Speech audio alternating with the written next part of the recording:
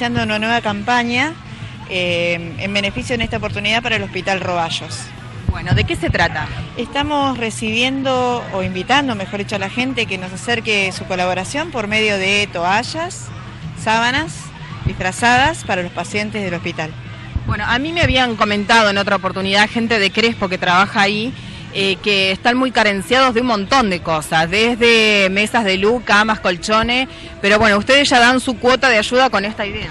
Sí, ya desde el año pasado venimos haciendo algunas, acercando algunas colaboraciones, eh, como revistas, por ejemplo, eh, ropa que hemos recibido en Cáritas, sobre todo la que tiene que ver con tipo ropa deportiva, que en lugar de tener este cierre, botones o ese tipo de pretinas tengan elástico. Eh, así que ese tipo de ropa es muy funcional para los pacientes y bueno, y también recibimos toallas y sábanas. Este año seguimos en todo caso con sábanas, toallas y frazadas. Bien, ¿a dónde lo tienen que llevar? Y digamos de una plaza, de dos plazas, es indistinto, ¿cómo se organizan?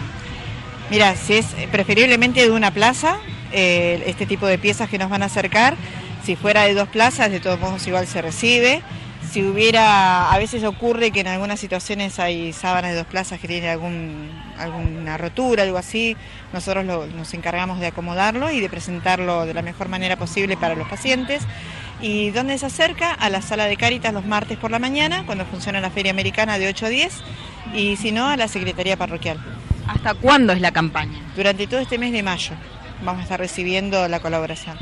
Bueno, ¿vale algún otro dato? Aunque seguimos con el apoyo escolar, tanto en la sede de la parroquia San José, los días viernes por la tarde de 17 a 18, y en la capilla San Miguel los martes por la mañana, martes y jueves de 10 a 11, y los viernes por la tarde desde las 17 hasta las 18.